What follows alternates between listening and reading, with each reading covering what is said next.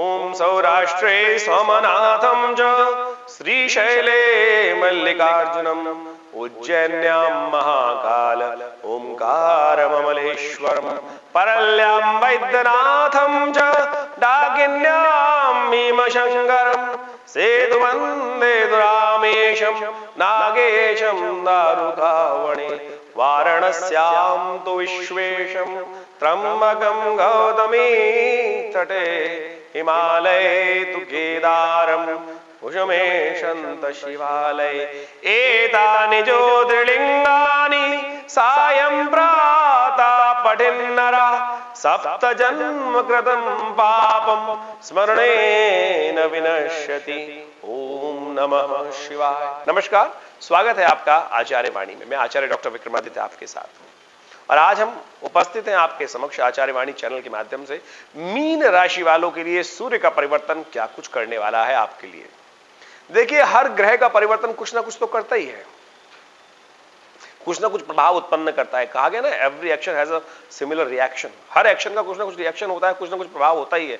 चाहे एक पत्ता भी हिला तो उसका कुछ ना कुछ पराप्रकृति में प्रभाव पड़ेगा। ऐसा हो ही नहीं सकता कि कुछ एक्शन का रिएक्शन ना हो।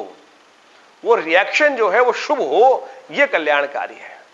लेकिन ज्योतिष विज्ञान के माध्यम से बड़े सुंदर तरीके से यह है, हर रिएक्शन को आप सुंदर बना सकते हैं, लाभमय बना सकते हैं, बुद्धि के द्वारा, उपाय के द्वारा, ज्ञान के द्वारा, यही मानव बुद्धि का चमत्कार है। आज हम बताने जा रहे हैं, मीन राशि वालों के लिए क्या कुछ होने के योग है, इस परिवर्तन से, ग्रह दृष्टिकोण से। वैसे हमने बहुत सारे वीडियोस आपके समय समय बताए हैं और ग्रह दृष्टिकोण से इस वक्त समय आपका बड़ा अच्छा चल रहा है मीन राशि वालों। आपका स्टैटिक ग्राफ ग्रोथ हमें प्रत्यक्ष रूप से दिखाई देती है। और जो सूर्य का परिवर्तन वृषभ राशि में हुआ है, वो जो सूचना दे रहा है कि 15 तारीख को ग्यारह बज के अट्ठावन मिनट पर सूर्य मेष से निकलकर वृषभ राशि में जाएँगे और करीब करीब 30 दिन। देखिए, सूर्य का परिवर्तन एक निर्धारित गति से चलता है। वो हर रोज एक अंश चलने ही है। सूर्य प्रत्यक्ष देवता है। नित्य प्रति हमें दर्शन देते हैं, चाहे कोई चाहे चाहे कोई ना चाहे चाहे उनके प्रति श्रद्धा रखे कोई, चाहे उनका ना श्रद्धा रखे, प्रकृति के अनुसार से वो अपने सिद्धांत को अविरल करते चलते रहते हैं, अविरल अपने कर्तव्य का पालन करते रहते हैं। तो इसलिए हमारे यहाँ भारतीय संस्कृति में उनको प्रत्यक्ष देवता की संज्ञा सूर्य नारायण के रूप में हम उनकी प्रतिष्ठा करके, उनकी पूजा करते हैं, आराधना करते हैं और उनसे संसार के कल्याण की कामना करते हैं और वो अवश्य आशीर्वाद प्रदान करते हैं और सूर्य के प्रताप से ही संसार की रचना है। यदि सूर्य ना हो तो ये संसार का कोई औचित्य रहेगा ही नहीं। परिकल्पना कर सकते हैं कि कभी सूर्य ना हो तो क्या होगा? सब कुछ समाप्त। तो इसलिए विज्ञान भी इस बात को मानता है। वो तो सूर्य की आयु करते हैं तो भारतीय संस्कृति में ज्योतिष विज्ञान में हर चीज़ को बहुत सुंदर तरीके से वर्णित किया गया है। खैर आप समझ लें कि आपके लिए क्या होने के योग है। तो आप एक बात समझें कि यह सूर्य का परिवर्तन आपके लिए बहुत शुभ है। विशेष कई क्षेत्रों के हिसाब से सूर्य आपके षष्ठेश हैं आपकी राशि के अनुसार से। षष्ठेश होकर तृतीय भाव में पदार्पण वो कर रहे हैं और वो, वो दिखाता है तृतीय भाव में विशेष तौर पर। जो सबसे पहले बच्चों की बात कर लेते हैं छोटे से लेकर फिर बड़े तक चलेंगे। तो बच्चों के लिए, खासतौर पर जो शिक्षा के क्षेत्र में है, उनके लिए बहुत अच्छा ग्रोथ का पीरियड है ये। यदि थोड़ी सी और मेहनत कर लेना तो बहुत बड़े आदमी बनने के लिए रास्ता बन सकता है। बहुत सारे लोगों के कॉम्पिटेटिव एग्ज़ाम चल रहे होंगे इस वक्त। तो आप समझ लो मीन राशि वालों, ये समय आपके लिए बहुत अपॉर्चुनिटी से भरा हुआ है। हमें दिखा रहा है ग्रह कि आपके साहस से, आपके अदम में उत्साह से आप बहुत बड़ा काम करने वाले हो। तो हम तो उसको और बूस्ट करने का प्रयास कर रहे हैं कि बहुत अच्छे लगने से काम कर रहे हो और बहुत बढ़िया ग्रोथ का योग है। तो विश्वास रखो, आपके रास्ते प्रशस्त हैं और आपके आगे सफल होने के अच्छे चांसेस बनते दिखाई दे रहे हैं। तो पंद्रह जून तक का ये सूर्य का जो गोचर है, आपके लिए बड़ा कल्याणकारी साबित हो सकता है। और एक अच्छा दिखाई देती है कि धन का सदुपयोग पूर्ण करने के योग बनते दिखाई दे रहे हैं। क्यों? क्योंकि सूर्य वहाँ बैठकर आपके धर्म को भी देख रहा है तो धन का सदुपयोग दान से भी तो दान पुण्य कर कर उसका लाभ अच्छे प्रकार से ले सकते हैं, ये साफ़ साफ़ तौर पे दिखाई देता है। यानी ऐसे में धन लाभ होने के पूर्ण योग बनते दिखाई दे रहे हैं। हमें आपकी राशि के अनुसार से धन लाभ के पूर्ण चांसेस हैं। आप केवल अपने मंगल को प्रशस्त करने का प्रयास करें। मंगल पंचम में बैठकर शराष्टक योग शनि के साथ बना रहा है, वो थोड़ा कष्ट दे सकता है। अपने सामर्थ्य को लगातार लगे रहें, हिम्मत को मत टूटने देना। मंगल लगातार प्रयास करेगा कि मैं तोड़ दूँ हिम्मत। आने वाले जो मंगल का प्रभाव जो है, वो यहाँ पर विशेष तौर पर काफ़ी दिन तक है। अभी 50 दिन तक, मंगल अभी 10 तारीख को बदला था 10 विशेष तौर पर मई को और 30 जून तक यहाँ रहेगा। सूर्य के शुभ प्रभाव में थोड़ी कमी लाता दिखाई दे रहा है तो अपने सामर्थ्य, हिम्मत को बनाए रखो, हनुमान चालीसा का नित्य प्रति पाठ करो, वो बहुत ज़रूरी है ग्रह दृष्टिकोण से। धनयुक्त हो गए डेफिनेटली हो गए धनयुक्त बनने के चांसेस दिखाते हैं, आपके आपके सदकर्मों से आपको लाभ प्राप्ति के योग दिखाई देते हैं तो धर्म परायण रहना, धर्म का सदुपयोग अवश्य दान पुण्य में करने का यदि प्रयास करोगे तो अवश्य आपके जीवन में लाभ प्राप्ति के योग बन सकते हैं। जो लोग प्रवक्ता हैं, जो लोग खास तौर पर लेक्चर यानी वाक पर, वाणी से व्यापार करते हैं, वाणी का काम करते हैं, उनके लिए बहुत अच्छा इंप्रेशन जमाने का समय दिखाई देता है, उनकी वाणी से, उनके बोलचाल से, उनके व्यक्तित्व से बहुत बढ़िया से लाभ प्राप्ति के योग बनते दिखाई देने आपके पराक्रम में कोई कमी नहीं आएगी, लेकिन मंगल खराब है, मुझे वो दिखाई देता है कि वो आपको कहीं परेशानी कर सकता है। एक बात ध्यान रखना, कई बार पराक्रम जो होता है ना, वो गलत तरफ़ भी चला जाता है। काम की प्रवृत्ति भी थोड़ी ज़्यादा प्रवोक हो सकती है।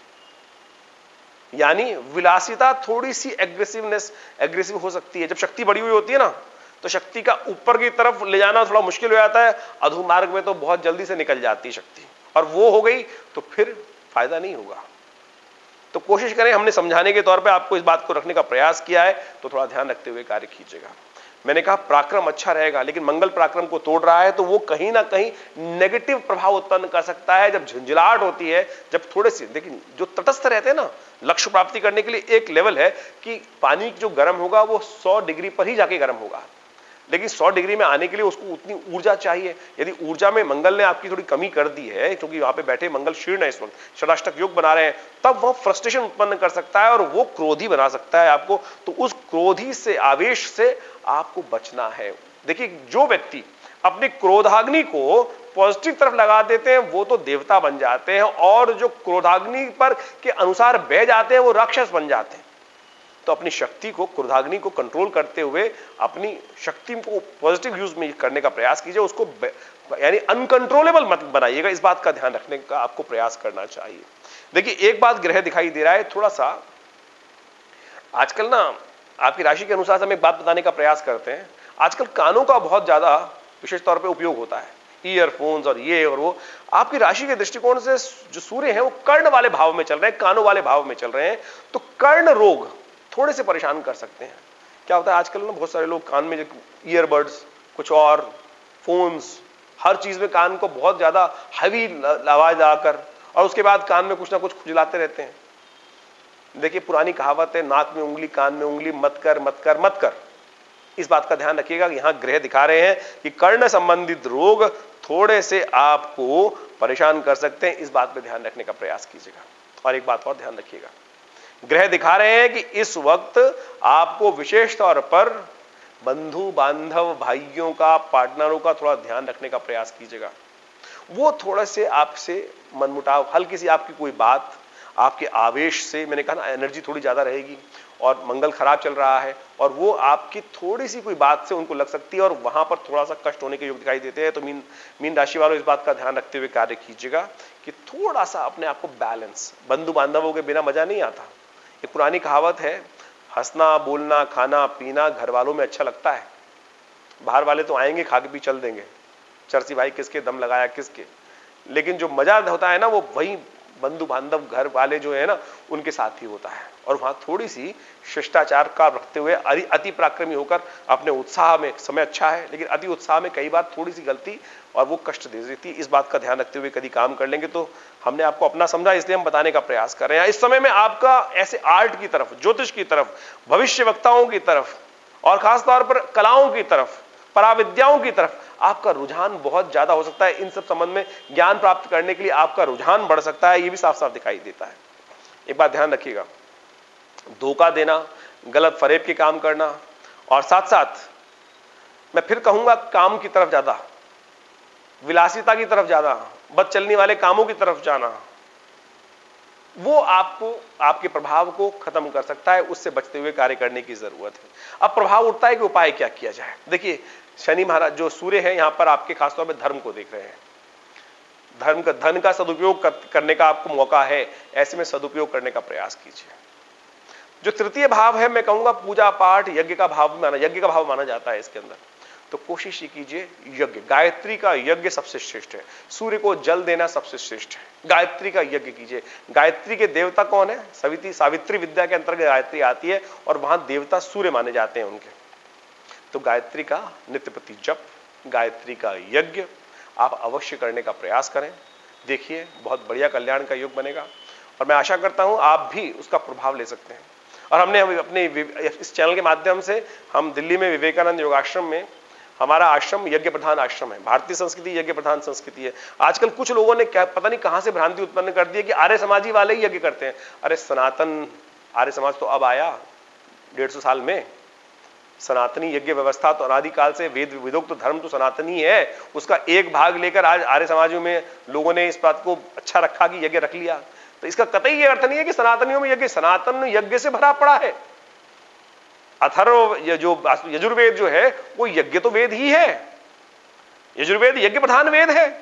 और हमारे यहाँ सबसे लेकिन हमारी संस्कृति में आज हमारे मंदिरों में यज्ञ बंद हो गया। हमारे पंडित जो हम आप रख रहे हैं मंदिरों में, वो यज्ञ कराना जानते ही नहीं, बहुत सारे लोगों में ऐसा हो गया है। क्यों? क्योंकि मंदिर के व्यवस्थापक आप लोग हैं और आप वहाँ ऐसे लोगों को रख देते हैं कि जो पंडित जी आजीविका चला लीजिए। कैसे चलाएगा वो पंडित आजीविका?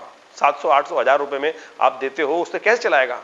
आज पादरी हाईली क्वालिफाइड होता है तो मैं चाहूँगा आप मंदिर में हाईली क्वालिफाइड पंडित रखें। आचार्य, शास्त्री पंडित, अच्छे जो पढ़े लिखे पंडित हैं, वो रहेंगे। लेकिन उनकी आजीविका की कम से कम पच्चीस, तीस हज़ार रुपए की तो व्यवस्था करें ना उसको देने के लिए। क्यों नहीं आएगा वो पंडित आपके लिए? और जितना बढ़िया हम धर्म के ज्ञाता को वहाँ रखेंगे, वो बहुत बढ़िया काम करेगा। तो इस बात को समझते हुए कार्य करने। खैर, आपकी मीन राशि के संबंध में बात कर रहे तो मैं आपको समझा रहा था कि गायत्री का यज्ञ, इस वक्त करना, गायत्री मंत्र का पाठ करना, गायत्री का अनुष्ठान करना, आपके भाग्य को उन्नति करने वाला है समय का लाभ लीजिए। ये समय भाग्य उद्योग करने वाला है आपके लिए। और बहुत बढ़िया तरीके से गायत्री का जप करें। हमारे यहाँ रविवार को यज्ञ में आ सकते हैं आप लोग। विवेकानंद योगाश्रम में हर रविवार को बड़ा गायत्री यज्ञ किया जाता है और गायत्री के मंत्र से आहुति प्रदान की जाती है और गायत्री बहुत चमत्कारी विज्ञान है भारतीय संस्कृति का। और इतना ज़बरदस्त गायत्री का चमत्कार है कि क्या नहीं किया जा सकता, कौन सी मनोकामना ऐसी है जो गायत्री के मंत्र से, यज्ञ से, गायत्री के अनुष्ठान से, सवा लाख मंत्री के जब से पूर्ण नहीं हो सकती। हमने ऐसे ऐसे अनुष्ठान देखे, गायत्री का पुरुष चरण, चौबीस लाख गायत्री का जप कर कर, उसका दशांश यज्ञ कर कर, उसका अनुष्ठान किया।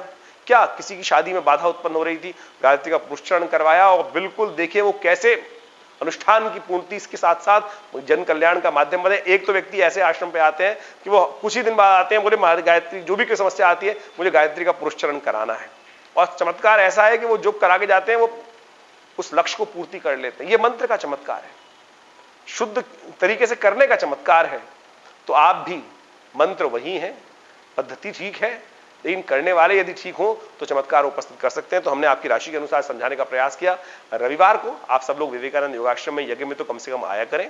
हर रविवार को हमारे आश्रम पे जो बड़ा यज्ञ होता है, सामूहिक यज्ञ, वैसे तो हर रोज आठ घंटे यज्ञ होता है। रविवार को उस यज्ञ में सब लोग सम्मिलित हो सकते हैं, सुबह आठ बजे से लेकर दस बजे के बीच में।